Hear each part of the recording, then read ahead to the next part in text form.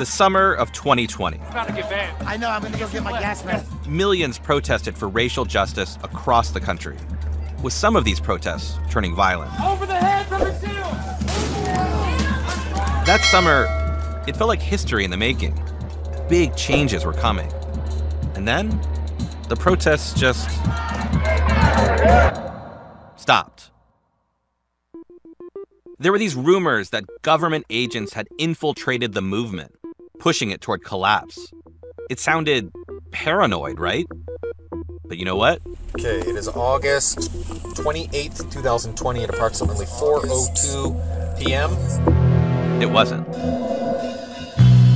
I'm Trevor Aaronson, and I'm a journalist covering federal law enforcement, the alphabet agencies. As the FBI, sometimes you gotta grab the little guy to go after the big guy. This is Alphabet Boys, a new series from Western Sound and iHeart Podcasts. Each season, we'll take you deep inside an undercover investigation.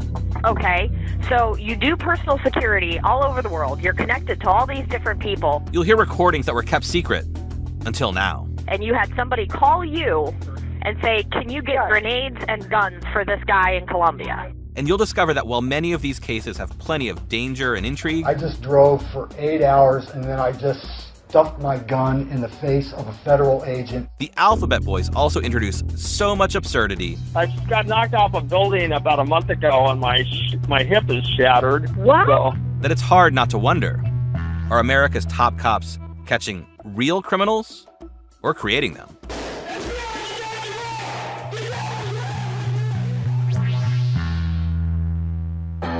In season one, we're headed to Denver, UCE 7775 in Denver, Colorado. Today is August 25th.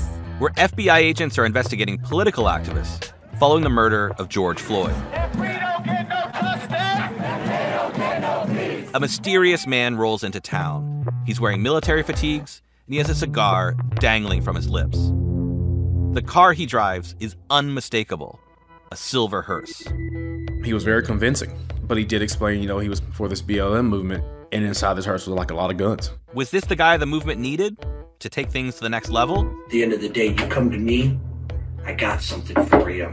Play stupid games, win stupid prizes. Or did he have a secret agenda? He was just waiting for me to set the date, the time, the meeting spot, and then for sure he was trying to get it to happen. He's a bad guy, and bad guys attract bad guys. And I feel like he's gonna keep doing this forever. they want to cover up the fact that local, state, and federal law enforcement caused violence here. Listen to Alphabet Boys starting February 7th on the iHeartRadio app, Apple Podcasts, or wherever you get your podcasts.